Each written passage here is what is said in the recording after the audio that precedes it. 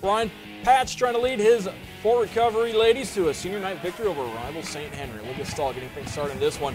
Drives to the bucket, gets through the defenders for the floater for the visitors.